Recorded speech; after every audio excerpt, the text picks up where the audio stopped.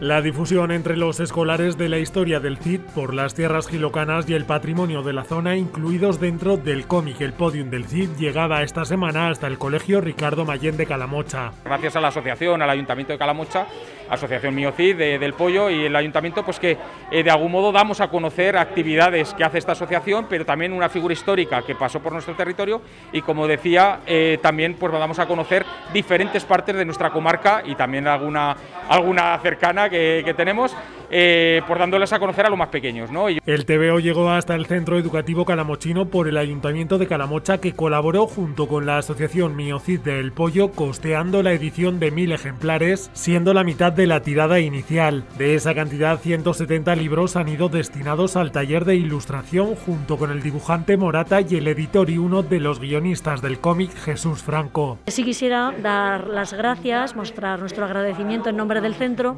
al Ayuntamiento de Calamocha que ha donado un ejemplar de cada libro para cada uno de los alumnos que van a hacer estos talleres, para los alumnos de cuarto, quinto y sexto, y que dona también 25 ejemplares para la biblioteca del centro, para que puedan ser usados en cursos posteriores tanto por el profesorado como por los alumnos del centro. En las sesiones realizadas con los alumnos de cuarto, quinto y sexto de primaria, los autores presentaron la historia y propusieron un juego de reconocimiento de lugares, acercándoles también unas bases para conocer el mundo editorial. Es un poco lo que es la historia de editar un libro con los diferentes pasos.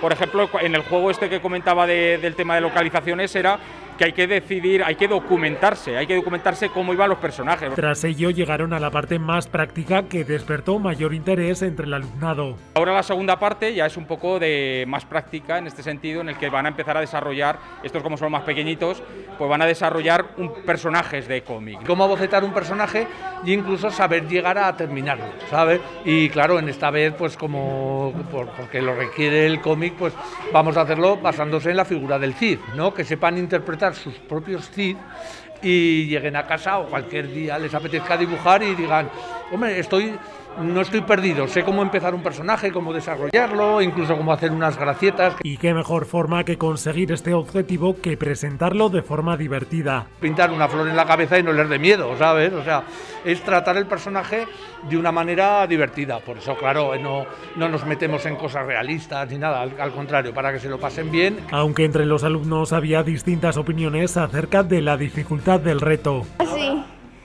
Casi fácil y difícil. Estoy viendo un poquito difícil. Más me ha gustado dibujar así la boca con el bigote, la cabeza en la cabeza. Esta jornada en torno al cómic se enmarcó dentro de la Semana del Libro que el colegio ha organizado y en la que fomentan la lectura y el conocimiento de autores de la zona con sus distintas obras infantiles. Para educación infantil, la cuentacuentos María Sancho nos va a presentar eh, un cuento que se llama El cerdo que no podía volar para la primero, segundo y tercero de primaria. Eh, hoy precisamente y ayer Pilar León les está presentando la historia de la grulla Josefina. Eh, este libro está escrito por Carmen Alijarde e ilustrado por Pilar León. La publicación del Podium del CID continuará trabajándose en las aulas del Ricardo Mayén, tanto en la materia de plástica como en las horas de lengua.